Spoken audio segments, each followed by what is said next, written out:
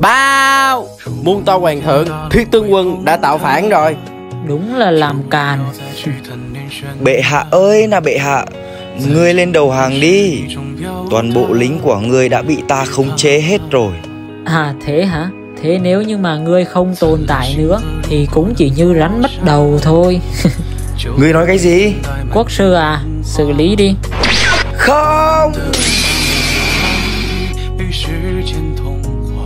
Công chúa cầu kiên Chàng suốt ngày chỉ lo cho thiên hạ Có biết thứ ta cần nhất là gì không?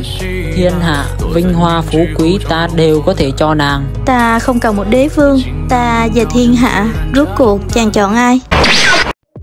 Tình yêu và thiên hạ Ta đều không muốn buông bỏ. Nàng đừng cố chấp nữa Làm đế hậu của ta đi.